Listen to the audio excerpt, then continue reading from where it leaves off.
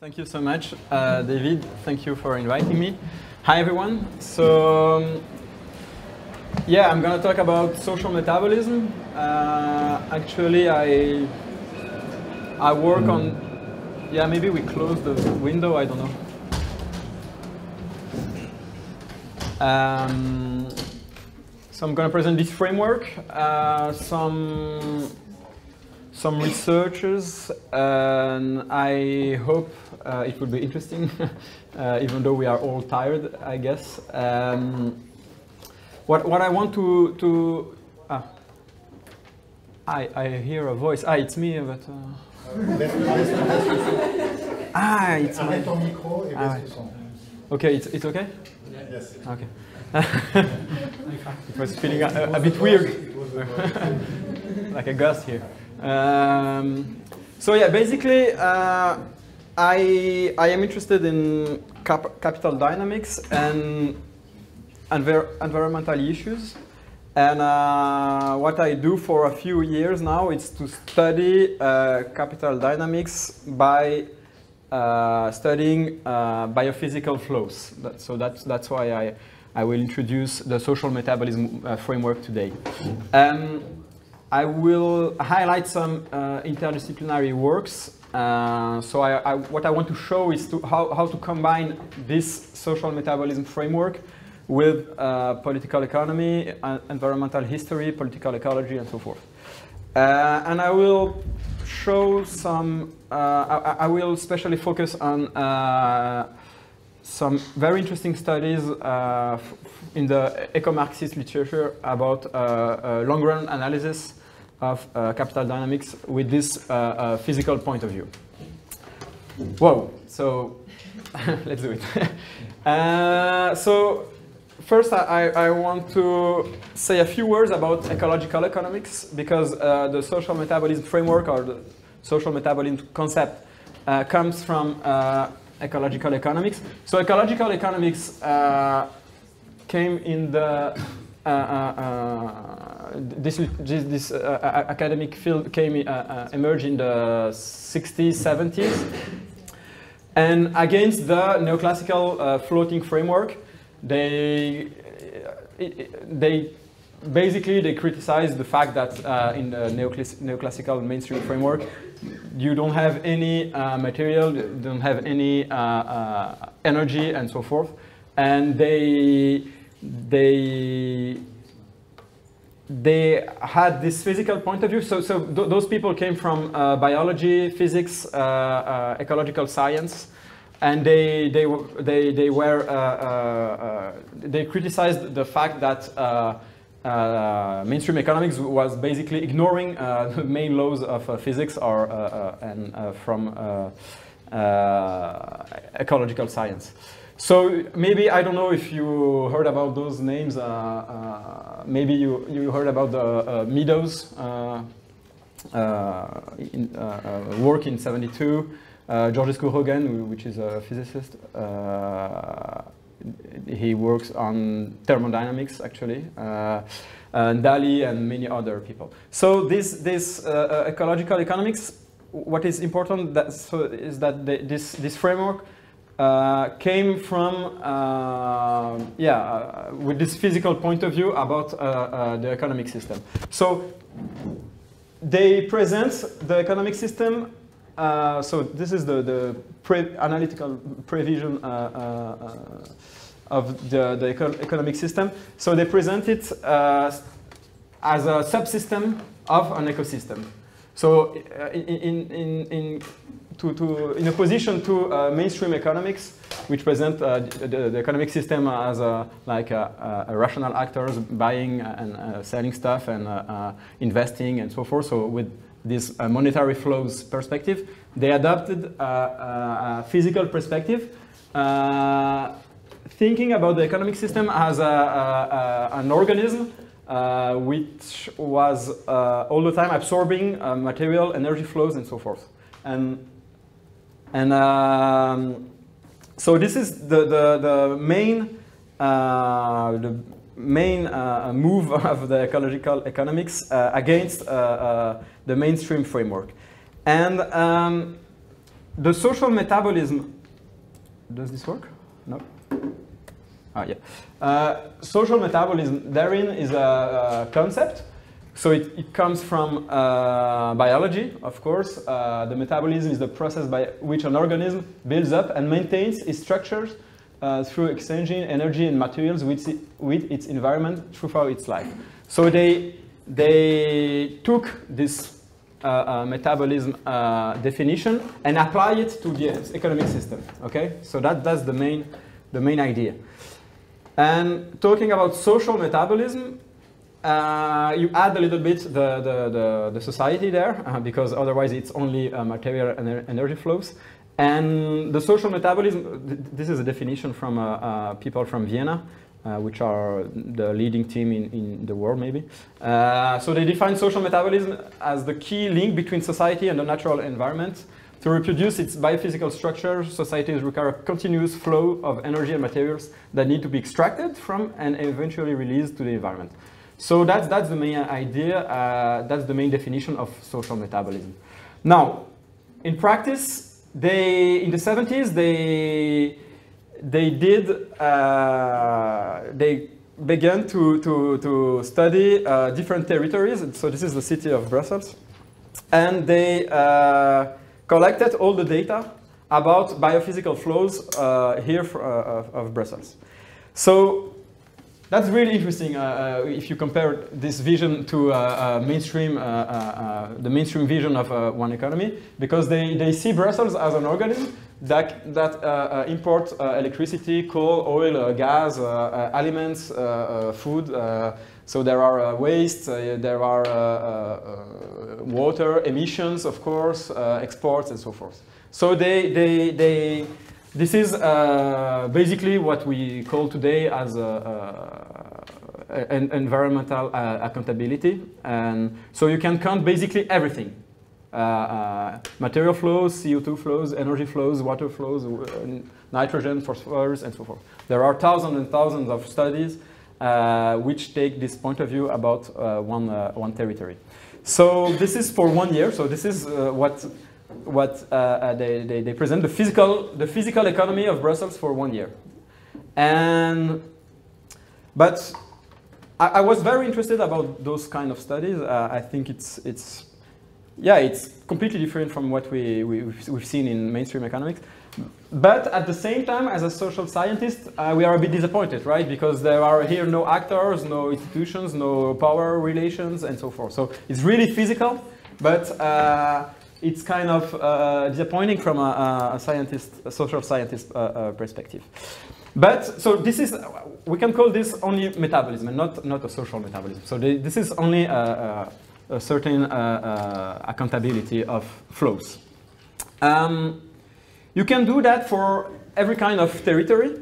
You can, uh, you can study material flows uh, of a region, a city, a country, a continent, and so forth. So uh, th there is a, and you can ev even uh, uh, take a smaller uh, scale, I, I, don't know, the, the metabolism of, of one building or one, one infrastructure or it can be any, any anything. So um, that's, that's the main that's the starting point, let's say, of uh, social metabolism.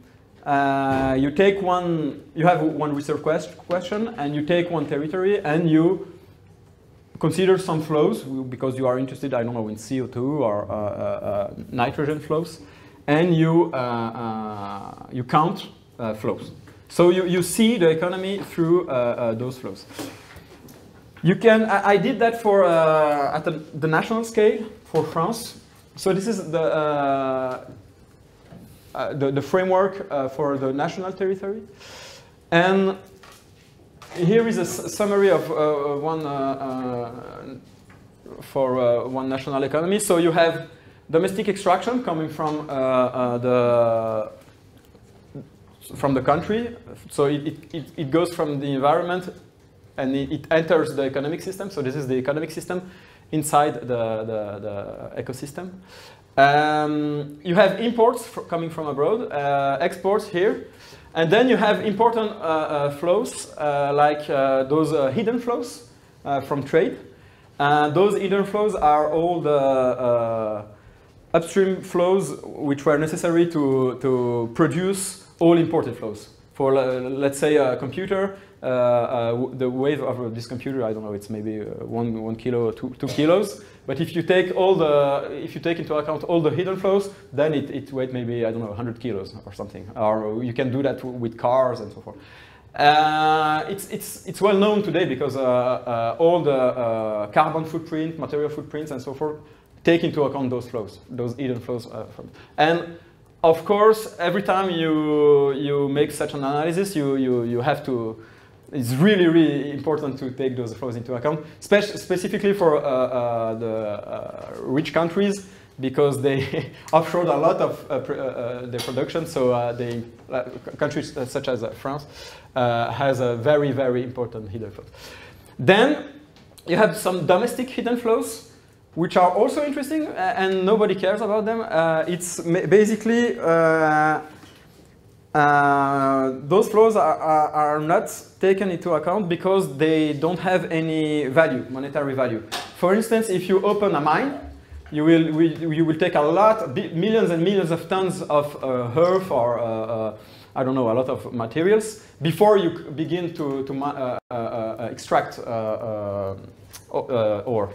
And all those flows, all, all those necessary flows to, to begin to extract uh, your uh, materials are those hidden flows. And nobody cares, but it's huge also. For instance, in, for, uh, for, many extractive countries such as uh, uh, Chile or Canada, you have billions and billions of tons of those domestic hidden flows. Then I will talk also today about stocks, social, social economic stocks. Because uh, this flow pers perspective uh, need to take those stocks into account. So stocks are basically buildings, infrastructure, so all the uh, built environment, but also machines. For instance, uh, all the, the um, all the, the, the machines uh, which are uh, in necessary for production. So those are stocks. Just to, to mention one number, just to, to uh, about stocks, the total plastic stock in the world uh, is uh, twice, two times bigger than all the animals on Earth. They are two, two times more plastic than animals on Earth. So this is a, a, a kind of stuff. And uh, plastic is really, uh, uh, the, the, production of plastic is really, really increasing, as you probably know. So uh, with those basic uh, uh, indicators, you can do a lot of uh, interesting study, and I will just take those today uh, to, to, to present some, uh, some work. Um, then, of course, yeah, I didn't, I didn't mention the, the waste flow here, which is also very important. Now, I want, before I, I, present some works, I, I would like to highlight the important heterogeneity in, inside the, the, ecological economics. Uh, so first, you have, so today, ecological economics, the, the, the, the whole field, is basically, uh, uh, there is this word from uh, Clive Spash, which is a, a well-known uh, economist uh, in this field, which say, he said that there is a mainstreaming of ecological economics. Because today the, the ecological economics field is dominated by neoclassics. so they, they, they just, they took those flows into account and they say, okay, well, we, we, we will work with energy flows. And it, it was not so difficult for them to take material flows, in, biophysical flows into account. But you also have an alternative, uh, which is called socio-ecological economics, uh, which presents and study those flows uh, as uh, uh, and think uh, those biophysical flows are as embedded in social relations. So here you think you you you, you find the the interesting division. Yesterday I, I, did a course and I, presented this new graph, so I, I will present a graph for you. uh, so let's say uh, the mainstream is here. So basic mainstream econ uh, uh, uh, neoclassical economics. The first ecological economics, they, they, they took into account biophysical flows. But so they, they did, let's say, this, this move. And today, the mainstream of, uh, I mean, the majority of ecological economics is still here. And uh, here, let's say you have uh, the power relations axis. so this is, uh, those are studies that, uh, uh, I mean, th those are classical uh, social science studies, like Marxists or uh, uh, sociologists or uh, all the, basically the social sciences are here. and for instance, many didn't take into account the materiality of the world of, of social relations. And the region that I will talk about today is the, so this social, so, socio-ecological economics they took both. So they, they take power relations into account and biophysical forces. And they, they, they try to explain and to understand how those uh, uh, power relations are uh, embedded in uh, uh, biophysical flows and vice versa. And uh, for instance, I, I will, I don't know, is it clear? I tried yesterday, so I, I don't know if it, it's my second try of explaining the, the, historical move, let's say, of those fields. Um, and then today I will, for, for instance, I will present some uh, work uh, from uh, the Marxist field, which were here, okay? And they, they did this, this, this uh, uh, uh, move, let's say, okay? So I will mainly talk about it. So, and now, I mean, in this, in this big subfield here, the so socio-ecological economics, you have uh, feminist perspective, Marxist perspective, uh, uh, degrowth perspective, and so forth. So you have uh, all, all of them, they are, they are I consider uh, uh, them in this subfield. And um, here you still have like engineers and people that count flows, but they don't care about power relations, and they stay here. And for instance, most of our governments, institutions, uh, international institutions uh, are here, okay? Uh, Macron and many, many leaders, they, they begin to, to, to think about this physical perspective, but they don't care about power relations. Then I also want to mention that, and this is, this is the, basically the same division. When you talk about ecological economics, what does ecological means actually? And the division is, uh, uh, can, be, can be presented uh, in the following way.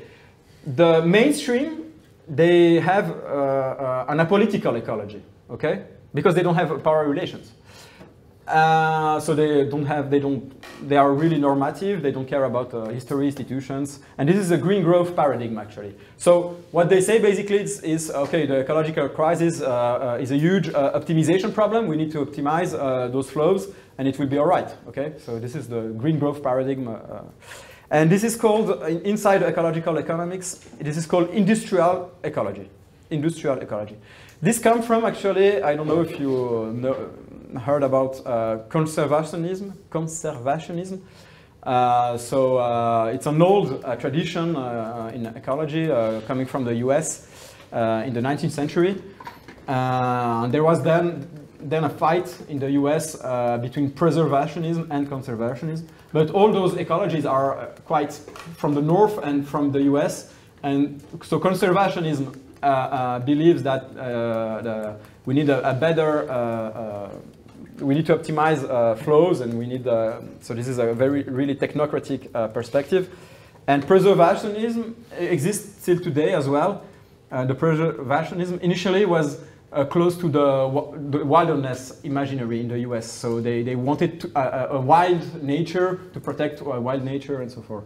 And this exists still today because it, it's, there are important institutions uh, linked actually to the World Bank. Uh, for instance, they go to uh, some countries in Africa and they say to African countries, okay, you will, uh, we, we, will help you with a little bit of money, but you need to attract tourists and then uh, uh, maybe you should open some national parks, but, but without people. So you take those people away and you create a wild park, you know. So this is, a, this is an, an old tradition com coming from the US. Actually, it's really racist because in the US they, they just killed uh, uh, Indians and they, they took them away because there were people living there in the Yellowstone, Yosemite, so the, all those famous parks uh, were not wild parks at all. It, it, there were people there and But uh, so this this was the the the, uh, the, the preservationist tradition. But the the conservationism uh, tradition is really hegemonic today. I mean, the, the, all all basically all the, the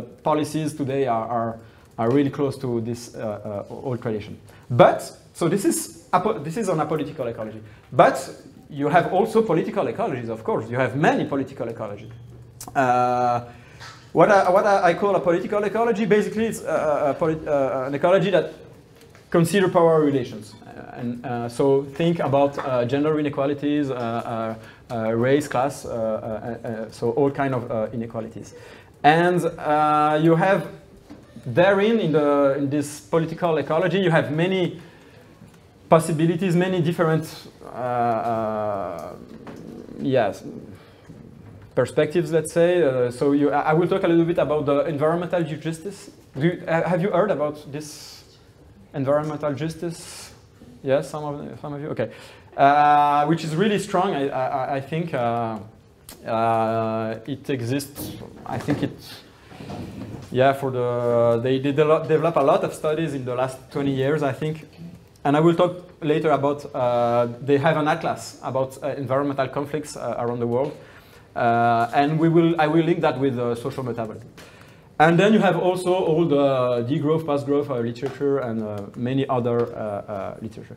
So uh, I wanted to make clear that uh, there is a big heterogeneity inside ecological economics and uh, you can adopt many different perspectives using the metabolism, okay? So the metabolism is only a tool actually, it's only, a, uh, it, can, it can be helpful but you can do many uh, uh, bullshit studies as well.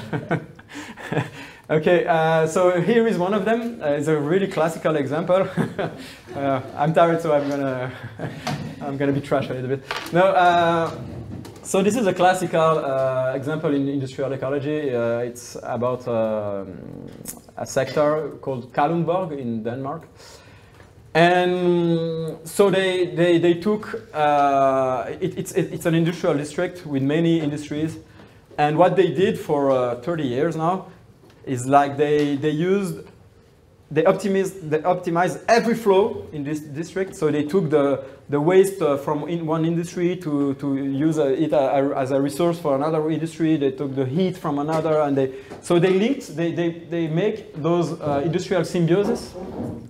And uh, okay, that, that, that was cool. And they call that uh, ecolo- ecological. Uh, uh, but actually, uh, it's, it's really weird because uh, they, if you look at all the industries, we are talking about a refinery, a power station, the Gyproc industry, the cement industry, and so forth. So, I mean, all, all those industries cannot be qualified as ecological, right? so, um, but they, they did indeed, uh, uh, they optimized uh, all those flows. But here, what, what I want to, I want to, yeah, I want to highlight the fact that there are hundreds of, of studies like this, and basically they, they don't care about history, about uh, uh, workers, about anything. They just, they just want to optimize uh, flows. And um, yeah, so and it's it's it's still the case today uh, uh, when we talk about uh, all those uh, uh, green solutions. Uh, I don't know, green hydrogen, greens, blah blah blah. It's always they, they want to optimize the CO2, and they they don't take social relations into account. That, that, that's that's the point. Now, so today I will present. Wow, I, I, I, when when did I begin? I begin it was 10, no? 15. Was yeah, 10. Okay. Uh, so I, I will present some, some works that uh, study the, the capital accumulation uh, long-term dynamics. And I want to explain how they, they, they took uh, one old paradigm or one old framework and they, they, they combine that with uh, uh, biophysical uh, flows. So uh, here I mentioned just three, but I won't talk about uh, the three. Uh, I don't have time enough. The first one is an interesting literature called World Ecology, which took the world system developed by Braudel, Wallerstein, and other social scientists So they, they basically explain the development of capitalism uh, not only through uh, centers and peripheries and unequal exchange, but also uh, adding uh, the ecological dimension. So they talk about ecological, ecologically unequal exchange, and they explain that the, the, the centers of, of, the capital dynamics benefited, absorbed uh, billions of tons and a lot of energy from the rest of the world. And that, that's why they developed, actually. Um, it's kind, it's, the, the, the, second one is very similar. Uh, uh, they, they adopted a very similar point of view. Um, and it's, it's the same. They, they took uh, work about uh, Latin America, for instance, and uh, dep dependency theories and they develop uh, an ecological theory from, from this dependency theory. Then the third one is the regulation theory. And it's the same, the regulation theory, if you think about this little graph, they, they, they were really here. They, they never took uh, into account uh, any materiality in their, in their uh, framework. So, and now they, I did some work and trying to, to understand uh, the importance of uh, uh, the materiality for accumulation regimes. Now, I, I will insist here on two points, hidden flows, which I, which I introduced before, hidden flows of trade and all the ecological footprints, and a little bit of, I will talk about material stocks. Now, let's go with the ecologically unequal exchange. So the thesis is really quite simple. So they explain that uh, there are asymmetric net transfer of resources, including labor, from peripheral to core areas of the global economic, um, economic system. So this is the main thesis. So what they say basically is that, for instance, uh, I don't know, the, the UK in the 19th century benefited from uh, cotton from the US, and uh, when uh, the UK was buying uh, for, uh, let's say, $100 of uh, goods coming from the US, uh, those $100 were, were equivalent, let's say, to, I don't know, a thousand um, tons, thousands of acres, uh, 1 million joule and uh, 1 million hour of the work, for instance. And when the UK was selling for $100 to the US, the US wa was only uh, buying for, I don't know, uh, one ton, one joule, and uh, two hours, you, know? And this, this, was, uh, this was not just for one year or two years, but it was like for decades. So this is, there are many empirical evidences about this. Uh, actually, what, what I, I, like to remember is that the, the UK, uh, the territory of the UK was too small, actually, for all, the, all those uh, cotton fields, basically. So they, they didn't have space.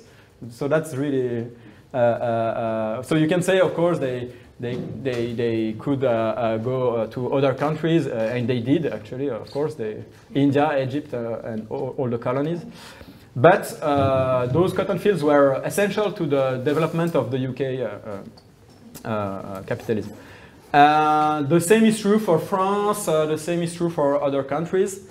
Um, and on, on the opposite side, the same is true for Latin America. But Latin America was, of course, exporting all um, those material flows.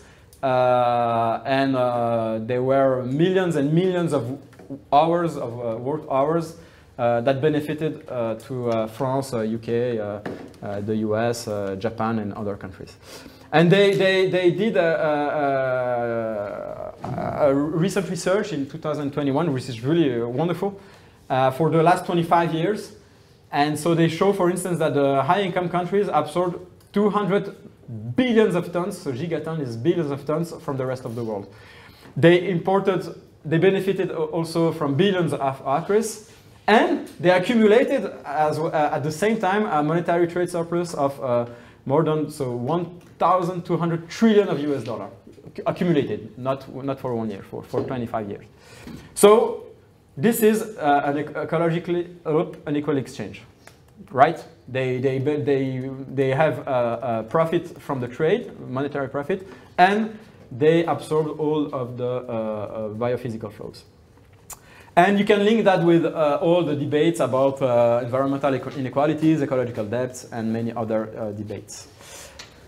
Now, uh, what? Yes? Can you just explain a bit about the methodology for these studies? How is, are these flows, the costs, what are they normalized to with floating exchange rates and all of that, purchasing power parity, how are these normalized?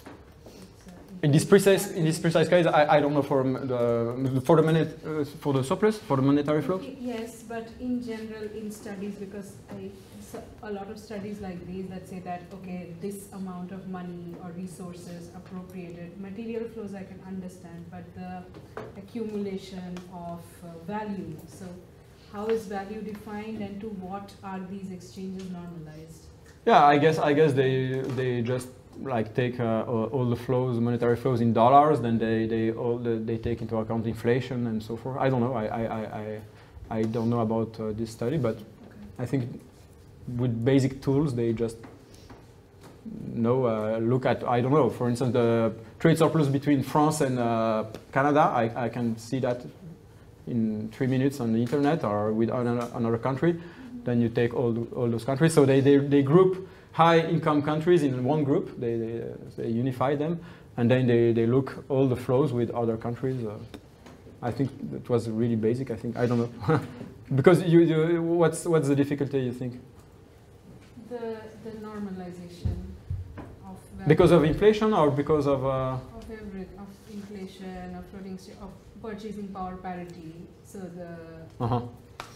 the, the globalization argument that the causality of linking outcomes, development outcomes in different countries with, you know, with- with globalization. So one, you know, because things, because of purchasing power parity, even if less wages are paid, people are still getting more prosperous in developing countries. So different sides have, they use the same kinds of, but they have different arguments, they have different conclusions. So I'm wondering what the differences in these definitions are across different narratives around globalization. Yeah, yeah. So that's It's my. physical flow at the end, no? It's, it's physical flow, it's not monetary. No, there is also. There is. They, they also yeah in this study they, they also looked at uh, monetary, monetary flows to show that uh, even in monetary flows the high income countries uh, benefited because they, they export uh, uh, high uh, value added goods to other countries basically. But uh, maybe we can discuss that in the discussion. But but there are you can well you can say that this theory has some drawbacks, maybe because there are rich extractive countries, for instance. You have inequalities inside one country also, so this is a quite nationalist perspective. You take, you, you take one country uh, as if it was like an actor, but it's not. Uh, so there are many drawbacks, but I mean the global the global uh, thesis is really strong, I, I think, because it has really a, a strong empirical evidence for centuries for many countries. Uh, and that's what I, I wanted to show now. So this is this graph I made it for France. This is the physical trade balance for France. So this is the trade balance, the classical trade balance, but in tons. So I, I, I, I- collected all the data since uh, the 1830, 1830. Uh, and just, yeah, the, the, the, the message here is that uh, France always, always benefited from the materials from uh, uh, abroad, always in its history. It's not the case for the UK, for instance. In, in the UK uh, exported a lot of coal for some years and from some periods. No, France not. France is uh, really parasite. it's uh, depending uh, uh, of the rest of the world all the time. And uh, the, the gray the gray color here represents fossil fuels. So of course France is completely dependent from the rest of the world because there is no more uh, coal extraction in France. Uh, here the, the blue color represents metals, green represents biomass, and yellow uh, uh, construction materials or non, non-metallic minerals, we say. So, uh, so thi- this, this, this is an empirical evidence for France.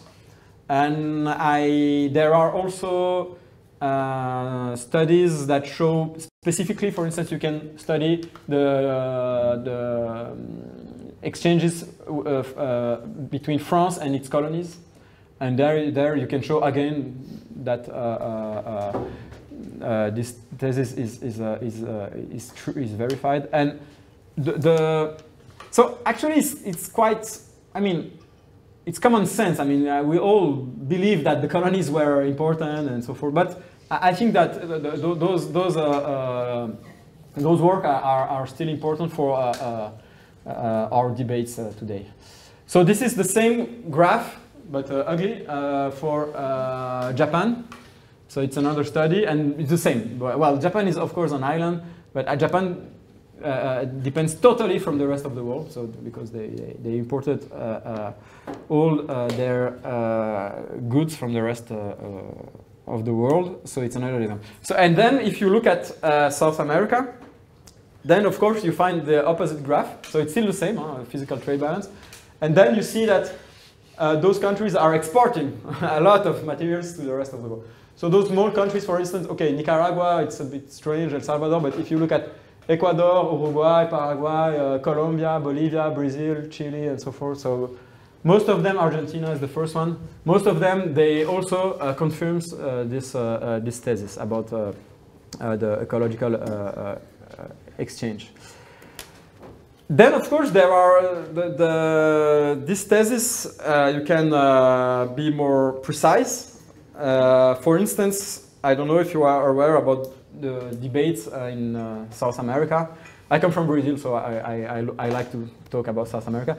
Um, there is this debate about extractivism and then neo-extractivism, and this shows this shows the the, uh, the, the argument of the neo-extractivism. Basically, they, they, in the 60s, South America was exporting its flows to uh, the US and Europe, and today the main flow goes, goes to China.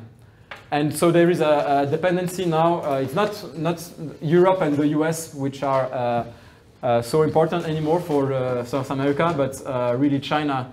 And so they, they, they, there, is there is a paper which is called, I think, the Beijing Consensus, because there are, you know, the well-known uh, Washington Consensus. And so they talk about this Beijing Consensus in Latin America. Okay, so this is another example of I think, uh, an interesting uh, theory uh, based on social metabolism. And then you can link that with uh, environmental conflicts, and they do that uh, a lot in South America. Uh, for instance, they look at mining, Uh, ore extraction, uh, petrol extraction, uh, or, coal, and so forth, and or, or of course, biomass, soy, or many many uh, goods from uh, the agricultural sector, and they link the environmental conflicts to those uh, to those activities. There is this environment, environmental justice atlas, which I, men I mentioned before. So they, what they do, it's a collaborative uh, site, so everyone can uh, uh, can contribute to this site. You can go to to and assess it and they map all environmental conflicts in the world. So there are more than 3,000, uh, I think, uh, uh, conflicts in this uh, website. And they divide it, uh, it uh, so there is a nuclear conflict, waste management, infrastructure and built environment, water, water, water, tourism, biodiversity, industrial, fossil fuel, and so forth. And, and this is really, there is a strong link here between uh, the social metabolism, the global economy, social metabolism, and those conflicts. And you can, for instance, uh, as a sociologist, go uh, to uh, one of the, those conflicts and study this conflict and relate that to uh, the, the global economy, for instance, or other, other economical issues.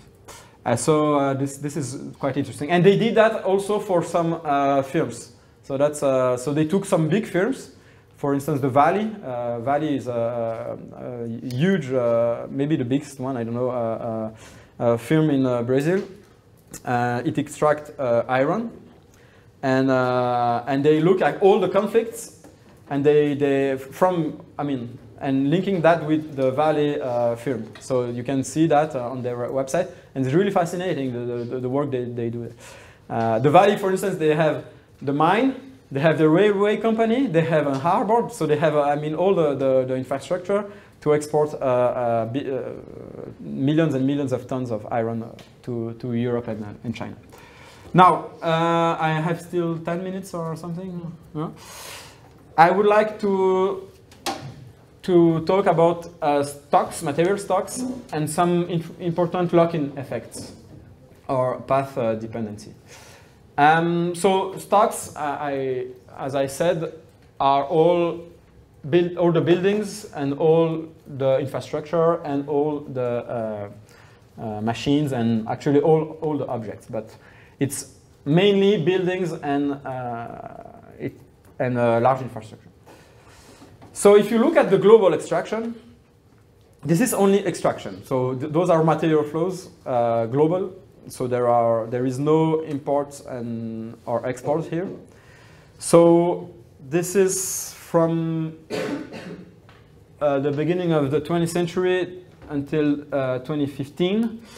Uh, so uh, you see an exponential. Uh, you don't see any decrease any time. Maybe the COVID did a little, a little decrease in this uh, curve now, but it was really small. So well, this is quite depressing, right? The because the we, we in the literature they, they, they usually they talk about the great acceleration here in the 60s and 70s. But what we can see also is the really super great acceleration from 2000, you know. So uh, uh, the, the steepest uh, uh, part is, uh, uh, is the recent part actually. So the, the, the extraction, the global extraction is really, really huge. What we can see also here is that the biomass is not increasing that much. It's, it's really correlated to uh, population. Uh, fossil fuels are increasing well. Uh, yeah, they, they, so this is the, uh, the fossil fuel uh, uh, fossil fuel flows. The metals are here in blue, so there is also a huge increase in the metal extraction. And then the gray part are all the non-metallic minerals, and this is uh, mainly sand and gravel. So globally, we extract mainly sand and gravel. This is the most used uh, uh, material on Earth by far. Uh, and this is quite interesting because so it means that today we extract for buildings and not for food or to uh, to heat uh, uh, our uh, buildings or we mainly extract for uh, uh, to build uh, house and large infrastructure and as I will show later to repair them. Now if you look at the material stocks uh, it's the same uh, study uh, from uh, 2019. Uh, the increase is even bigger than material flows. Th- so th- those are they accumulate, of course. So th- this this this uh, the previous graph is uh, an annual annual uh, uh, annual flows. For, for instance, in 2000, we extract the world extracted I don't know 55 billions. In 60, uh, 25 billions, and so forth. But in the, this graph, it's an accumulation, so uh, it's only it's only incre- increasing. And again, as I mentioned, you see that the world is made of sand and gravel because so aggregates are kind of gravel. So this part, the, the, the, uh, the, this huge part is concrete, so it's again sand and gravel. Then asphalt, asphalt is bitumen with sand and gravel. so all this part from our, the global stock is made from sand and gravel. Okay, the rest of the world, uh, so the rest is bricks, wood, glass, plastics, and so forth. Uh, the total is, is about uh, a thousand billions of ton, and there is this recent paper showing that the human-made materials now outweigh the Earth's entire biomass. So there is more building than plants on the world. Well, so ciao. uh, no, this is this is quite uh, depressing. Uh, I, did you understand the, the? So if you let's say if you count all forests, all animals, all everything, all the biomass on Earth, uh, it, it, it will be lighter than all the buildings. Okay, uh, so stocks are, are, are increasing uh, quite fast, but again, this is only metabolism. So what I, what I was interested in is to explain that and to uh, have a, a, a, history of those stocks and, and to, to uh, understand what we do with these stocks and so forth. So that, that's, that's why uh, I, I, actually I, I, did my, my PhD uh, about large infrastructure, so I, because because I saw those those graphs, and you, you can't you can't see ah yeah, yeah plastic is there. Plastic is about four billions of tons, and there are thousands of billions of tons the total stock. Okay, and ah yeah I didn't mention, but roads, only roads represent a third of the global stock, only the roads. So the roads are really, really a huge, huge environmental issue. Really, one of the most important political uh, uh, issue we have are uh, roads. Maybe I, I, will talk about it in the discussion. So why, why do stocks are really important? Uh, because we need to maintain them. We need to repair them all the time. We need to repair all the time every road. We need to repair uh, buildings as well, uh, bridges, and so forth. This is an example uh, for the metabolism of the European Union in 2009. And they, they took into account buildings, roads, and railways. So three, three types of stocks, the important uh, stocks. Here I can mention that roads, roads are more important than buildings I, I, was quite surprised. I don't know about you, but because when we when, when you live in a city, you, you see all those buildings and you think, I, I, well, I was maybe naive, but I, I, was thinking that the buildings were more, more important than roads, but they are not.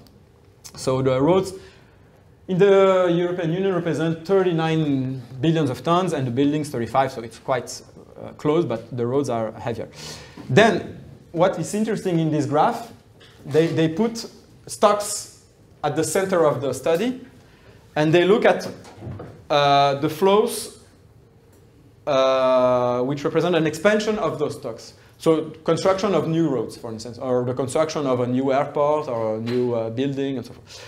And the expansion of the stocks, if you look at uh, buildings, it represents uh, 207 million. Well, okay, we don't care about the numbers. But what is important here is that the flow for maintenance and replacement is way, way, way bigger than the, the flow for new stocks. So it means that we extract sand and gravel to repair roads today. We basically open new carriers, you basically, we basically extract.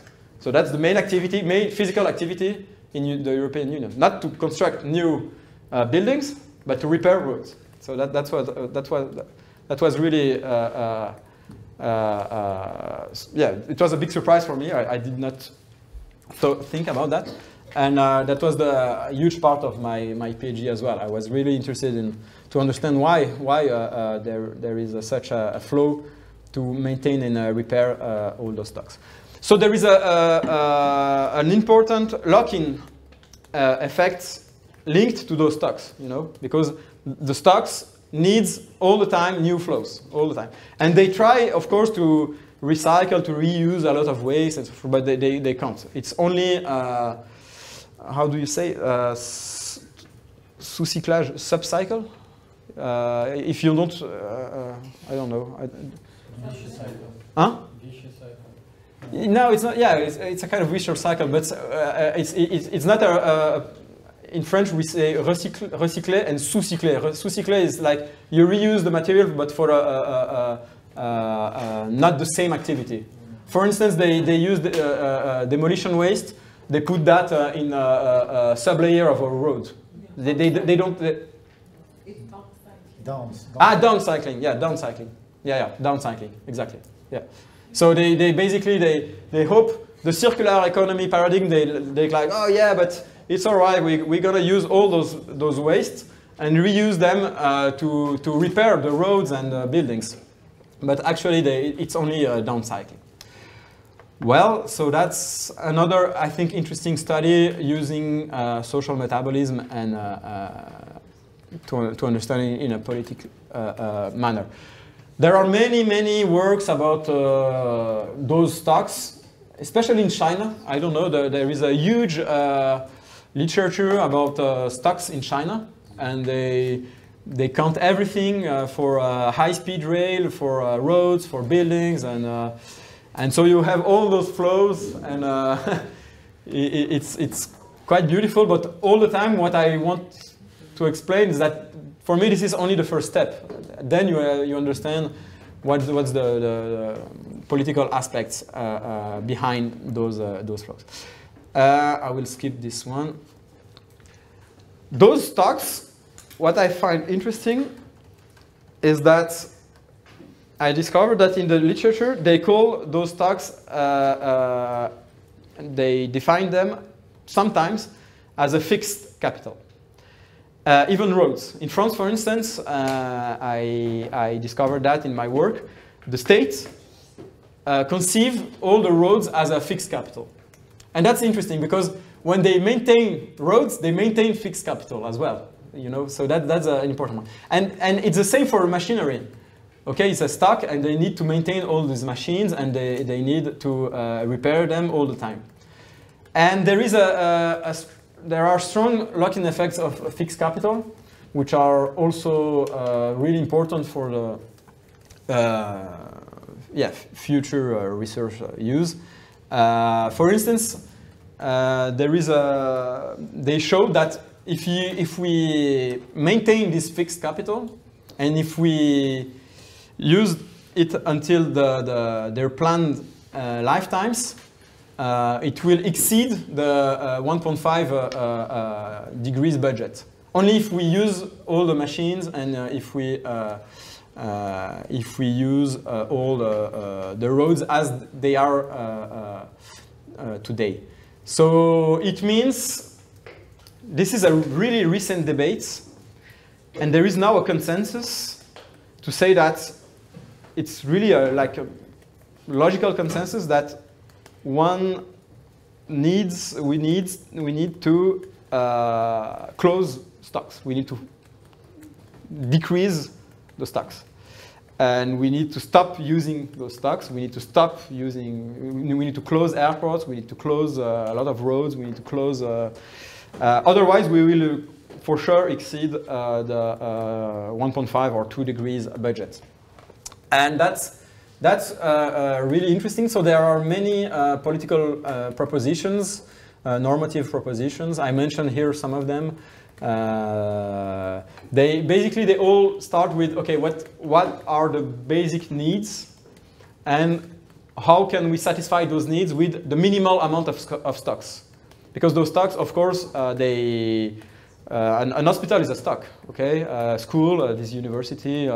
So we can define democratically or, or which what, what are the, the, stocks uh, we need to uh, uh, for those basic needs. So they, there is a debate about the decent, decent living standards. There is this donut proposition, the Buen Vivir. The, there is now a proposition about planning degrowth. And when they talk about planning degrowth, it takes uh, also those uh, uh, material stocks into account. So it- it's, it's really, I wanted to present, like this is really a really recent uh, debate and I, I- think it, it's quite interesting. In France, there was uh, one or two books now, uh, yeah, explaining, okay, the ecology is not only about how we will preserve uh, some natural spaces or uh, so forth, but also how we will close uh, uh, uh, ref- refineries, uh, nuclear plants, uh, and uh, many other stocks. And, uh, and it will be tough actually because there, is, there are technical issues uh, uh, and many uh, uh, uh, economic interests uh, and political interest. So this is this is the main debate about stocks. Do I have still five minutes or yeah? Okay, cool. Uh, now I also wanted to show another way to use social metabolism. Uh, maybe with uh, in a sociologist perspective, uh, so, socio-economic uh, uh, perspective. And again, I want to highlight the interdisciplinary uh, uh, Uh, work here uh, because it, this is, uh, I, I, will show really briefly one work I did. And again, I was using social metabolism with political ecology, with political economy, and mixing that with environmental history. And I think it's, it's a, a nice way uh, to uh, develop new uh, researchers. So basically, you can take any flow for your study. You are interested in, I don't know, electronic waste for one region. You, you are interested in uh, agriculture. We are interested in, uh, uh, I don't know, CO2 or stocks. Or, and I, I, took th those five flows in my, my PhD. Then you, you, are, you, have, you will quickly find which are the main actors, main institutions, what are the social practices linked to those flows, and you can uh, quickly find uh, the power relations uh, because you, you, for instance, I don't know, you, you I, I, had, I had the state, for instance, and the, the, the, one administration all the time in my study, and then I, I could see the important actors and the important firms and, uh, and all the, the work uh, they, they did. Um, and I was interested again in sand and gravel for uh, those large infra infrastructures. So again, sand and gravel is the largest uh, extraction in France. Uh, today we have only two type of flows in France, we have biomass and sand and gravel, and that's it, because there is no more metal and, uh, and, uh, and, uh, and fossil fuel anymore. And so first I collected all the data about sand and gravel, so this is per capita, so I, I, I avoided the, the demographic effect here. So you can see that uh, it, it, was multiplied by seven or eight uh, between in 25 years, uh, from 48 to 74 or something. The total sand and gravel extraction in France was about 20 billions of tons. And this, this is way more than any flows in France. Uh, again, so this is the same graph, the same curve, uh, the blue one. And here I, I, presented some other important flows for the French economy, coal, cereals, and uh, iron ore. So there was an important extraction of iron. And you, you, see the difference is really, really big. So this is by far the most important flow uh, in France. Now, I was, I was really curious about the, the effects of this extraction uh, about environmental conflicts uh, and so forth. So I, I wanted to, to study uh, those act, important actors and uh, uh, involved in, in, in, this extraction, the, the quarries and uh, all the firms. And what I discovered First is that the, the rate of extraction were really huge. That's why I defend in my, my, my PhD uh, I have my, so this is a, one argument, one, yeah, one argument, is that there, there was an ordinary extractivism in France. And I wanted to use this concept of extractivism, which is normally used in Latin America, because for instance, the extraction, uh, sand, sand was mainly extracted in rivers in France. Uh, and I discovered that the, the factor, uh, the, the so I, I, I, I, need first to explain uh, why, there are, why there is sand in, in one river. So basically, it's, it's uh, the erosion, the natural erosion. Sediments come all the time uh, along the river. And uh, today there is a debate about sand extractivism uh, all around the world, and mainly in South, Southeast Asia. And I, I discovered that the levels of sand mining exceed natural sediment supply by up to a factor of seven in the lower Mekong uh, River. So it, it, means that there is seven, uh, uh, the, the, uh, the, extraction Uh, of uh, is, yeah, it means that it's seven times the, the natural uh, uh, flow coming into the river. And in the Loire River, one of the most important river in, in France, the, this factor for 50 years was five. I, I, I found that in my, my archives. And in, in the 70s, it was 12. So way, way bigger than today, this huge extractivism in uh, uh, Southeast Asia. So that, I, found that that was really, really interesting. and so basically they, they took all the sand of the river. basically there, were the, there was no more uh, uh, uh, sand in the, in the Loire and all other uh, uh, river uh, as well in France. Another point is that uh, it's a low value extraction. The sand is, has no, not a, a, a, a it's, it's, it's a quite simple uh, commodity. And it, so the, the, the, there were many, there were thousands of small firms extracting all the time, everywhere in France. There were more than 12 12,000 firms extracting sand in every river in France. So it was huge. And there were many environmental conflicts. So everywhere, uh, the, the, the people, uh, the inhabitants, uh, the, the, uh, some uh, uh, deputies, some associations were protesting. There were there were many opposition, and it was all local conflicts. There were because it's uh, really a local extraction. That's why I, I, I, I did a, an environmental history of sand mining in France uh, using all this, uh, this framework. And you see, I, I took sand and gravel as a question. So that's why I- that's what I wanted to, to highlight today. You can just take one flow as a question. Why, why did, did we extract so many sand and gravel? And who?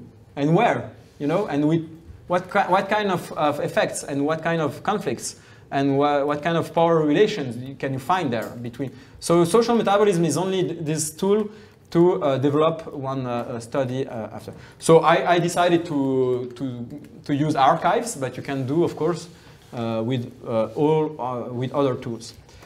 So here is uh, some some images. Uh, so it it was really simple. You know, some tree, tree machinery, uh, four people, and they were extracting one million tons a year in many many places. Uh, so this is just an illustration of this really ordinary extraction. I, I call it ordinary also because uh, it's it's quite far from the the really violent extractivism you can find in Latin America, for instance, with uh, uh, many uh, people are, are killed and there are uh, par- uh, paramilitaries or, or the, I, I, the police and many uh, other violent aspects. And here is, it was really kind of smooth. There were conflicts, but it was like, okay, we, we just we are just extracting everywhere sand and gravel, and and and uh, yeah. And another point, well, as I mentioned, is that in the recent year I was al- also surprised, but because it did not decrease that much.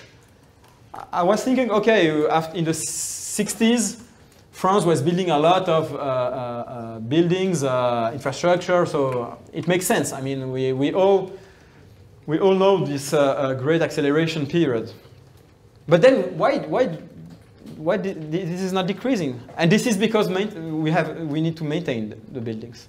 So I, I link all those uh, uh, framework together, and it was obvious. And today, for instance, in France, you, you, the, the country does not uh, construct a lot of large infrastructure, but it, need to, it maintains all the roads. And this is why we extract a lot still. Well, so this is only, I I just wanted to, to highlight this uh, uh, uh, work. Uh, and here I think I, I, I could link all the frameworks I mentioned uh, in this presentation. Um, so you have this ordinary extractivism, which is a material flow, which goes to material stocks, which I, I mentioned, and maintenance of uh, those stocks, and mainly uh, uh, large infrastructure, and large infrastructure are made to uh, uh, transport commodities worldwide, then you, you, see, you, you can link that with extractivism in glo- the global south because uh, to, to have all, all these big har- harbors and all the um, all the tankers and all the, the big ships uh, need huge infrastructure. So you can link all those frameworks together, and you can link that with the ecological, uh, uh, ecologically unequal exchange. So I found I found it was it was interesting to to conclude uh, with uh, with that.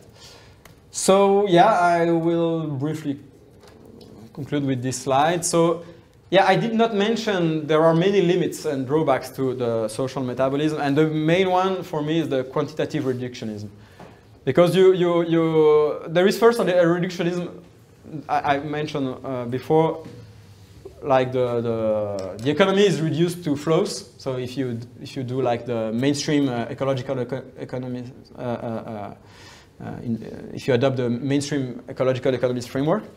But there is also a reductionism to the, the mass, because what matters is what, what is the, the, the, the, products which, which are the, the most uh, uh, heavier. So for instance, I always mention that you cannot see nuclear here in any, in, in, in any study because it's, it's too light. You cannot, you cannot see uranium flows. Yeah, you, of course you can find them, but since it does not appear here, you can, you can think that it's not important. And it is, of course, because the, the qualitative aspect matters as well. So this is, I mean, for me, the, the main limit of uh, uh, social metabolism. Uh, so yeah, for me, you can use social metabolism as a question to social sciences. It can help also to answer questions. And uh, I think it's really nice uh, to, to make interdisciplinary works. Uh, and the most important point is to understand the link between social structure and, uh, uh, and power relations with uh, biophysical flows. That's, I mean, in, in my opinion, the, the, the most important, the most important aspect to, to study. And I have a book coming. So I, I, I wanted to mention here, but it will be in French, so sorry, uh, in April 2024. Well, that's it. Thank you.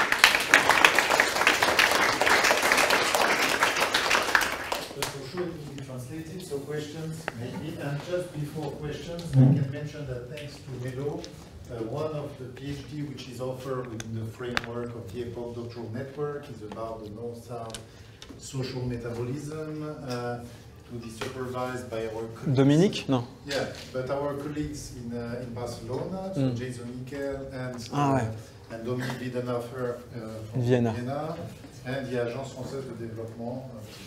Okay, so I think it's ah, ouais. one. Yes, yes, yes. Cool. Thanks to you. uh, so, questions? Yes, Yaksh. Um, it's actually related to something that um, I'm Yaksh. Uh, I'm from India. Um, and um, it's actually related to one of the things that you conclude with um, with nuclear. Um, what I could, and this is also like a question I had in the beginning on the methodology, um, that energy in general is something which is usually looked out of the social metabolism process, so to say, because um, if you like the example that I had in mind was to look at petroleum, for example, because we do take into account the mass of it in stock when we look at energy, but on the inflow side on, of the matrix, it's still something natural which which is in the which is which is fossil, like it's, it's planet planetary mass, right? And it is part of the the the biosphere. It is part of the, the energy system which we are playing with. So uh, it's hard for me to understand how we take that into account because it has a lot of important implications for the carbon cycle, for the carbon balance, for the historical carbon debt, um, and extractivism. Because if you look at Western presence in even India, for example, uh, we have sold our forests and our mines and uh, part of our reservoirs two private companies in the West. Um, so I'm not sure how that fits into it and if that's a, an important limitation. So it would be interesting to address that. I, am not sure I, understood well. Do, do, you ask if they take energy flows into account, basically? Yes, and yes, they do. If they don't, like, because I don't see um, things like um, physical energy quantities being included in the inflow and outflow matrices? Ah, no, no, they did, they did uh, of course, I, I, just did not mention here because I, I focus on some studies, but there are hundreds and hundreds of papers about energy, a lot of, I mean, it's may, maybe the main topics uh, uh, in, uh, in the social metabolism because of climate change. So uh, yeah, yeah, of course. Uh, and they, they all they, they see they, they show a lot of graphs uh, in joules and with many with many metrics because energy you, you can uh, uh, uh define energy uh, and measure energy with many different metrics And uh, yeah, yeah, they, they do it, of course, of course. Here, here we, we also, we only see uh, uh, fossil fuels here in, in the extraction part. Yeah, but uh, this is because I only mentioned three studies, but yeah, there are thousands of studies about energy, a lot, a lot. And, and they, they study emissions and every kind of energy and every kind of infrastructure and every kind of power plant and yeah, yeah, yeah. No, they, they, they do, they do. Yeah, yeah.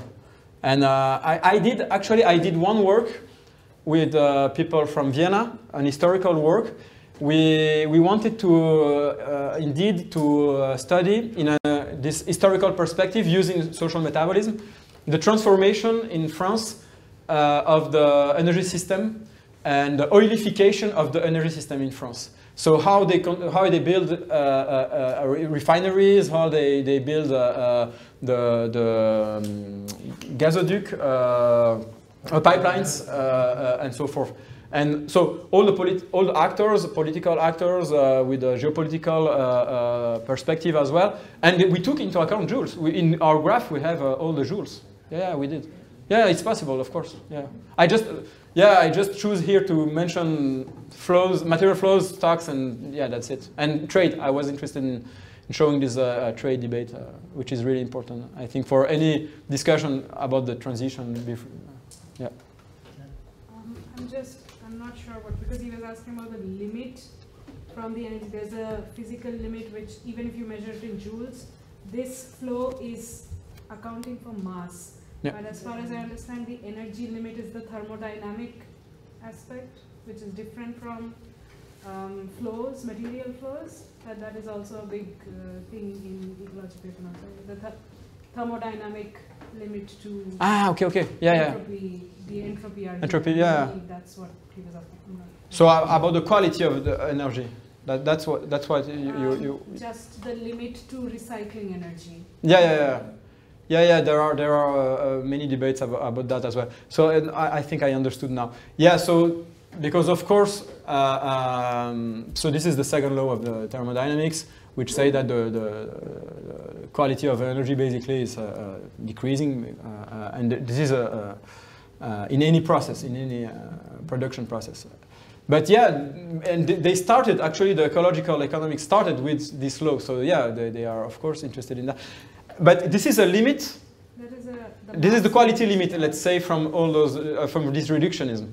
Reductionism to quantity. Uh, uh, uh, uh, avoid the quality debates and uh, uh, this is yeah I, I would say this is the, the a, a huge limit uh, indeed yeah yeah but but I just wanted to make sure that uh, uh, clear that uh, they, they take energy into account that, that's that's All right. So my question is, um, sorry if it's going to be a bit long, but um, a lot discussion in ecological economics is a bit sometimes skeptical of having a, a theory of value to analyze uh, exchange between between parts. Like Georgescu always emphasizes that, that is a production always has a big quality change, and I see that it's very Marxist influence. So I'd like to know how which theory of value guides uh, social metabolism. How do they answer to these objections that Georgescu did in the 70s regarding that? No, we should abandon the theory of value and see production only as a thermodynamic process. Uh-huh. Yeah, well, uh, Alf Hornborg will respond to you. So this is an author. Uh, he he's a Marxist, but he does not uh, take the, the theory of the Marxist theory of value. He, he, he doesn't believe in this uh, Marxist theory, so which is based on labor, as we know. Um, and I, I, I like uh, his work. So he, his name I, I will write here because I, I, I don't know if I pronounce it well. Hornborg. He was the director of uh, Andreas Malm. Maybe you heard about Andreas Malm. Um, and he worked a lot of, about uh, uh, an equal exchange uh, uh, also. When, when I mentioned the cotton fields, it, it, it's uh, his work of Alf, Alfenbach. Um, so yeah, uh, do we need a theory of value? Uh, can we avoid the Marxist theory of value? Yeah, I, I believe I, I believe so. There are many attempts to yeah, to establish a theory, a th- theory of value based on biophysical flows, on, on biophysical metrics, which is wrong, I, I, in my opinion. I, I, think there are processes of valorization, but uh, I, I, I think this is my, after reading a, a really nice French uh, uh, Marxist called uh, André Orléan, I don't know if he, is well known uh, abroad, uh, uh, André Orléan, yeah. He, he, he, he is Marxist, but he, he wrote a book about the theory, Marxist theory of value, explaining that there is, there is no substance in value. There are only social processes that valuate. And I, I believe so. I, I believe you, you, you, there is, because they, they try to say, oh yeah, uh, this, this commodity has a value because it, it contains tons of joules or works or hours or, and so forth. And uh, yeah, and I believe it's, it's, it's tough to, to admit that uh, if, from a realistic point of view because people can evaluate many objects and without any consideration of biophysical flows and because uh, uh, it, it, it, will depend on uh, uh, cultural, social relations. So there is a debate about theory of value and there, there are many attempts um, but yeah, in my opinion, uh, there is there is no need to to to use the Marxist theory of value, nor any uh, ecological theory of value. Uh, I, I, as I said, I, I don't I don't think uh, there is an object an objective uh, uh, metric you can use to define the value of one of any good. Um, and and I, I, recommend the response of uh, Alf Hornborg because he was really, uh, he's an anthropologist actually, and uh, he was, uh, yeah, he was in, interested in this debate. And he was, uh, yeah, he was discussing with other Marxists, of course. Um, and there were, there are also attempts, uh, there were many attempts to say that the, the real value is the energy, for instance, saying that the, the, you can base every, every, good on the energy it contains.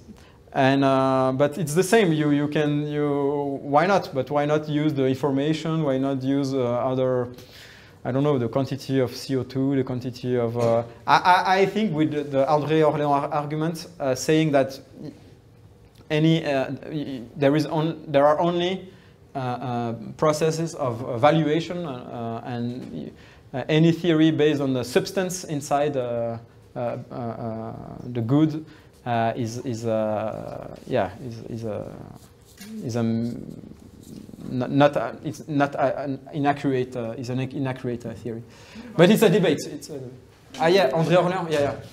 I, I unfortunately he I don't know if uh, his books you can find his books in in English. Um, French is close enough to Portuguese.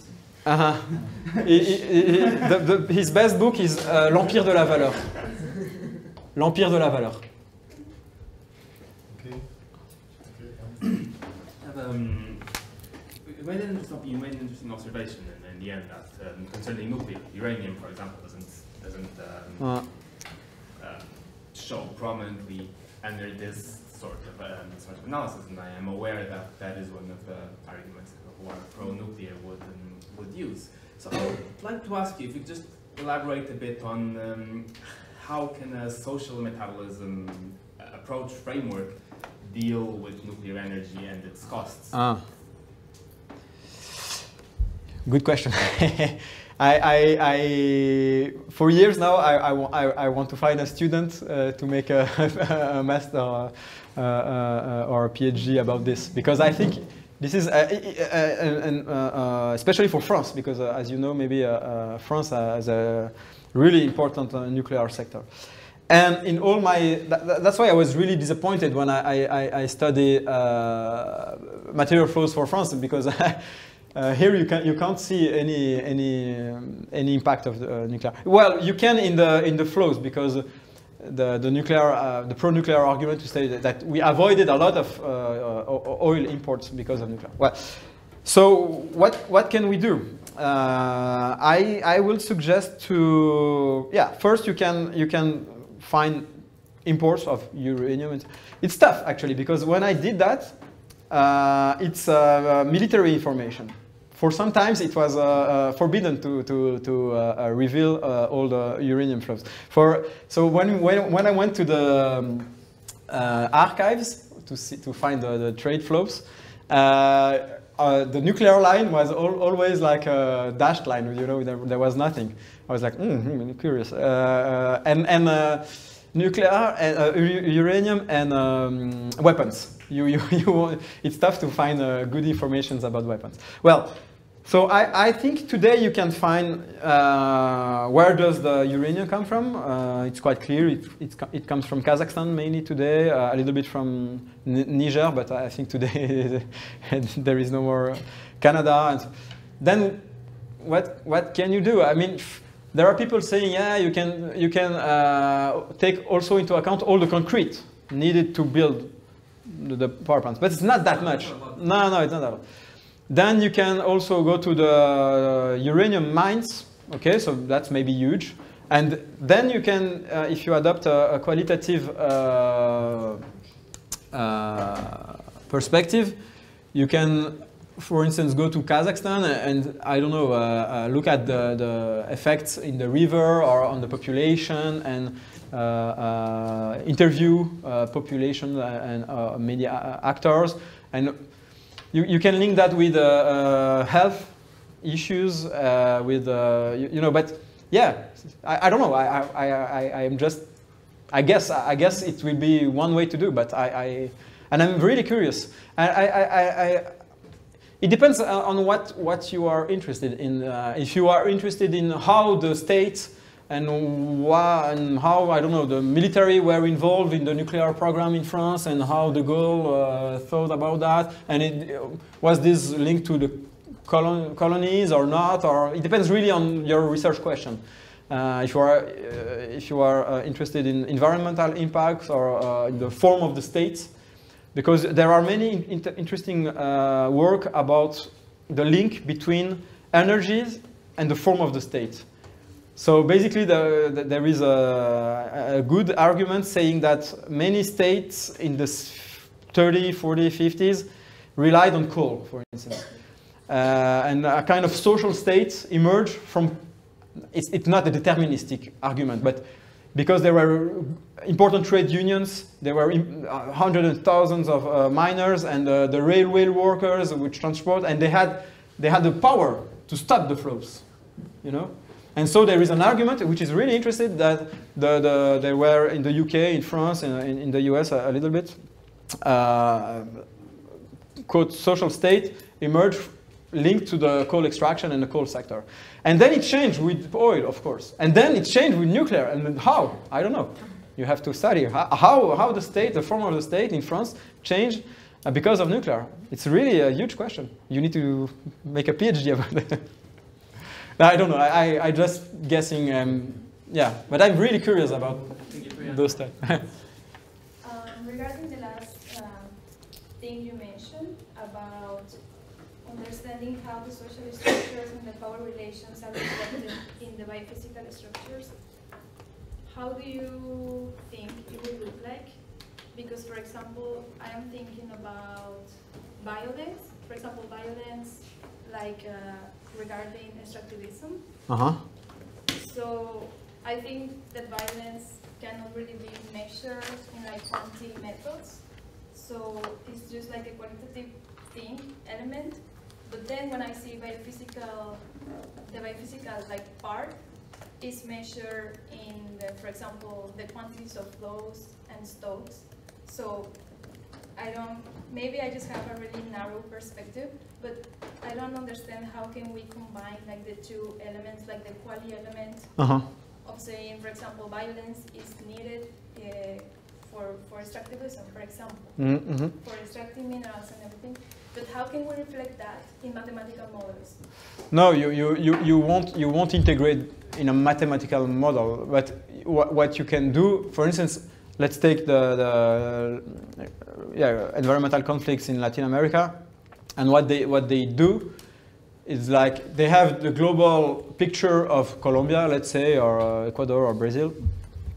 Uh, they understand, uh, they, they, see all the big firms which are, which are uh, uh, evolving there, like the Vale or any big multinational, but it can also be a smaller one, of course. And then what they do is that they, for instance, they will study one mine and all the conflicts are, and they will, for instance, uh, uh, um, collect data about uh, all the extraction for, for this mine, all the value added linked to this mine, and uh, social inequalities around uh, this mine, uh, I mean the impact on, on women, on black people, indigenous people, and, and that, that's, what, that's what they, they do. So they, they don't put these qualitative aspects into a mathematical model, just, it's like the social metabolism is like a background. They say, okay, we have we collected all the data, we understood uh, uh, that it's going for exports or for the national. It, it, can also be extracted for a national company or for a national pr production, but usually it's, it's for ex exports. And then, yeah, they, they interview people, they, they, they correlate that with, uh, it's always pretty much the same. The pollution are really correlated with uh, the, the social classes which are the, the weakest in the power relation uh, in all of them. Uh, and they, they, they, do that also in the US, for instance. Black people are uh, way more uh, affected by pollution uh, around one uh, extraction site or around well, around an industry or so. And so, what I, what I, I want to highlight is uh, what I, I, I, want, I, wanted to, to, to say is only that Maybe you can also think that we, you don't care about social metabolism if you want to, uh, to, to study one environmental conflict. And I, I, I, will agree. I mean, you don't necessarily need it. But it's a good tool, I think, to, to go there and to have a, a solid background to, to go to your, uh, to study and to interview people and populations.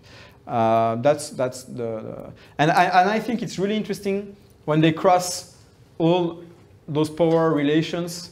And that, that's really the sense of political ecology. And that's, that's really nice. And they, they, they will, for instance, uh, uh, explain the history of uh, the one territory and all the people involved and uh, their religious practices or they, I don't know, it can be anything. The, and how was the social metabolism of this territory before and how it is today.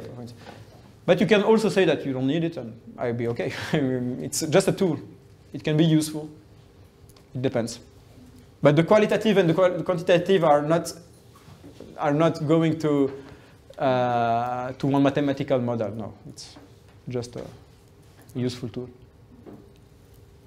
Yeah, just a quick question. You made the statement that uh, if we maintain the fixed capital like growth, we would uh, surpass the 1.5 degrees target. Uh, I'm just curious, like, uh, so, so, one question, like what literature, like uh, where do, can I reference that? Yeah, yeah, yeah. it was very shocking. Yeah, yeah. And second of all, uh, like extended on that, uh, huh. because here we've heard that in some seminars we've heard that maybe technology can actually like help on this and we can like actually like use it too. so it is actually like if I remember correctly the first seminar where we like actually like introduced like a bit of deep degrowth ah, okay. if I remember correctly, maybe I'm not. Yeah, yeah. Uh, so I am just interested in your opinion about yeah, so uh, I will send you uh, my slides and references, uh, and if I, you can send me an email uh, for uh, those literature. but it's it's a really important fact to have in the political discussion about the stocks. I, mean, what what we do with that, and how how is it possible to reduce them? And uh, there are many people uh, interested in, uh, in understanding what are the services that those stocks uh, uh, provide to the population and what are the needs, basic needs we, which uh, can be satisfied with the minimal amount of stock. Um, and yeah, I will send you those, those references. Now about technology, yeah, this is a classical Well, the technological hope uh, that uh, yeah. there will be green hydrogen and green uh, blah, blah, blah. For instance, I have a good example here about the electric car. Okay, those infra infrastructure, we, won't change them. It, it, won't change anything if uh, all the trucks and all the cars uh, uh, uh, uh use electricity instead of fossil fuel. You, you, you still will have to maintain them, repair them, and all that. So that's a solid argument to say that it's insufficient. But there are, there are many, many arguments. The main one actually is the, the political argument. It's, it's completely this idea that technology can help, of, of course it can help a little bit. There are, there are, there are uh, uh, people trying to quantify how, how, how, uh, how it can help uh, to optimize all the flows and with uh, maybe a new technology. And some people say that we have maybe for 20% it will help. But you, the, the main aspect that I, I, I highlighted here is about the, the solid fundamental structure of the economy. If you don't transform this fundamental structure of the economy, there, we, there won't, uh, you, you won't see any change, any, any. It's impossible. Because all those flows are social flows. And this idea that the technology can, can change the world does not care about uh, uh, social relations. That's it. They don't think those flows as, as embedded in social relations. And this is the, the hegemonic paradigm in uh, the European Commission, in uh, OCDE, uh, uh, uh F, uh, IMF, World Bank, anywhere. They don't care, they, they, don't think, of course, because they don't have any interest to, to think about those power relations. And, and so they just think that, okay, it's, it's becoming an urgent issue and we need to do, do something, and they are lost. They, they only can provide a, a, a technological solution or market solution. Uh, but if you, I mean, the, the, the, it's obvious that you need to change social relations. And what I mean is power relations to change anything about those flows. That's my argument. But I'm, I'm, I'm isolated uh, in the debate. it's not the main. Uh, I'm Siwar from Peru. Um, I wanted to ask you since you mentioned uh, this thing about the electric cars, uh -huh. what do you, how do you perceive the this uh, drive or this uh, resolution that uh, is um, uh, stated in the European Green Deal of replacing fossil fuels with green energy, main, mainly mm -hmm. solar and wind, mm -hmm.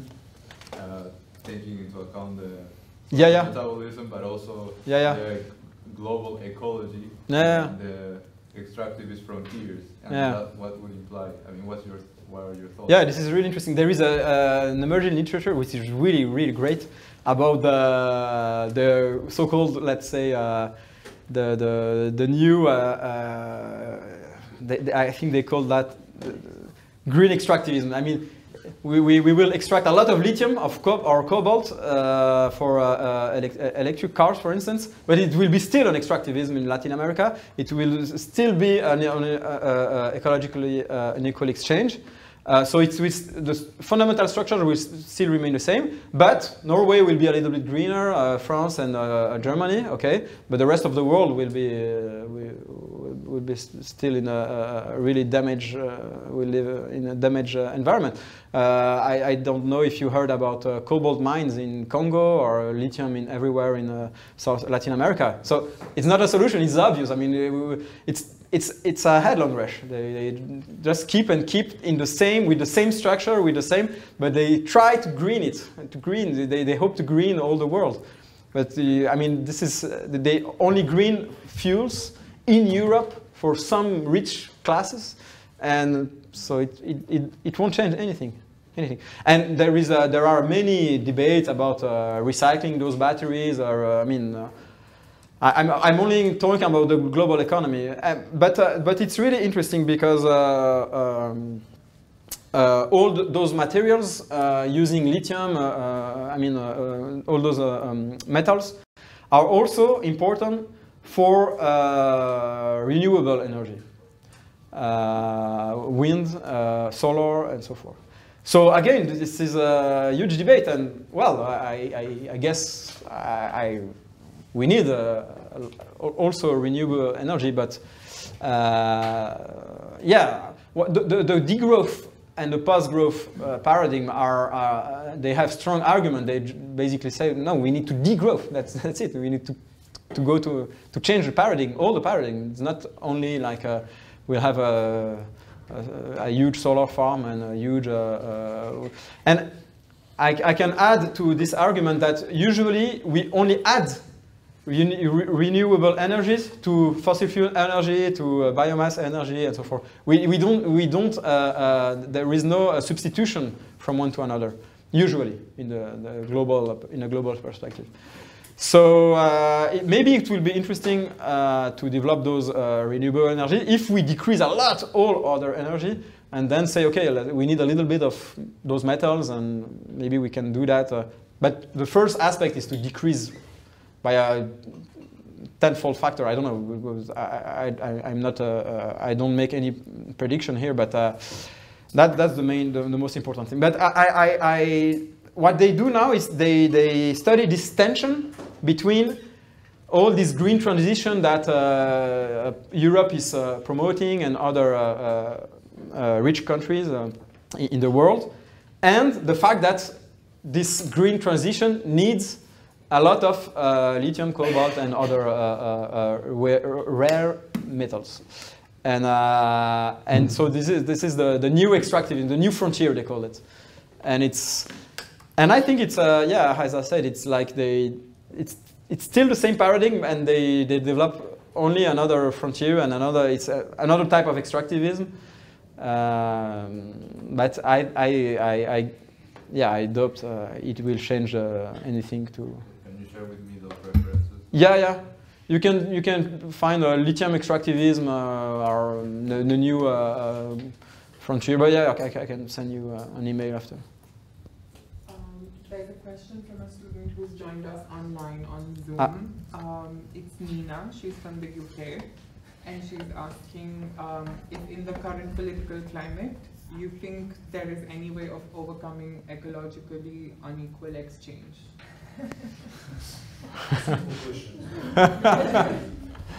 okay, so it's uh, six in the afternoon. I'm tired. Um, well, there are there are uh, uh, interesting propositions. I, I am not normative, so I don't I never say we need to do that and that and that. But I just I can only mention uh, the existing studies and propositions, and uh, there are, uh, yeah, well, first we, I mean, uh, it, it means relo relocate a lot of industries, a lot of uh, the agriculture, to, to have a more local agriculture, to stop with free trade, to stop with the, the, the world, uh, uh, um, WTO, World Trade Organization. so it's, it's huge. I mean, because you, you can, the problem with, with those debates is you can you can you can uh, really uh, uh, uh fall into a wishful uh, thinking. you know, ah, yeah, we, we, we will close, we will stop with free trade. Okay. Well, I, I, can say that here, but it, it doesn't make any sense. I mean, I, I, because, because it's all about power relations, and they are really strong economic interests which don't want to, to stop with free trade.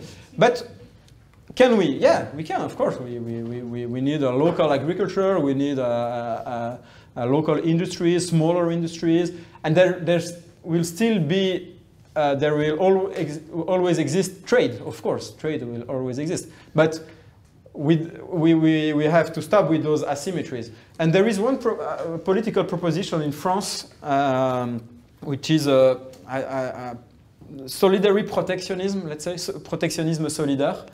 And the idea is that uh, uh, uh, to develop protectionism in an ecological and, manner and with solid with and helping let's say poor countries or the global south countries. Uh, because of course there is also the, an argument saying that if we stop with free trade, poor countries will uh, uh, will uh, uh, be really affected and maybe a lot of poor populations. So it's not only about stopping uh, free trade and stopping imports, but we need also to think about all those populations and how we can at the same time uh, uh, uh, end all those free trade agreements and help those countries with more ecological development. But those are political propositions. I don't know if is it wishful thinking, is it not? But there is, I think that it's really important, at least, that uh, to have a, a, a, a, serious political debate about free trade. And today, I think it, it's not, it's not in the debate anymore. Uh, all those, huh? Thanks to Trump. Yeah, yeah, uh, yeah, yeah, This is a, not the, not an ecological protectionism, actually. of course. In one of the discussions we had together, you mentioned the road, and here you also mentioned the road, one third of the gravel and, and sand. So it's, it's, a huge part. Yeah. And of course, the maintenance of the road is related to the fact that big trucks exact. are going to, from Spain to, to Denmark, exact. etc. And, and very likely there is maybe with railway, maybe with other types of agriculture. Yeah, yeah. The road, one third, is it's already yeah. part of the. Yeah, yeah. yeah. Uh, exactly. Yeah, we have to stop like sending, uh, uh, I don't know, uh, strawberries from uh, uh, Spain to Germany and from Germany to Spain all the time. It's, it's obvious. I mean, we all agree with that. But it, it's at the core of the Euro European Union. It's, the, it's the, the free market and the free, free trade is like the essence and the, the, the of the huh? core of capitalism. Yeah, but yeah, but in the in the European Constitution, it's it's written. So so this is a, a, a really important debate. I have no solution, but it's obvious that it's completely uh, uh, uh, stupid to, to, to, to, to maintain those flows from one, we all know those examples that, uh, I, mean, I don't know, apples go from one country to another and then come back and it doesn't make sense. it's obvious, but it makes money. Any additional question? Thanks a lot. Merci.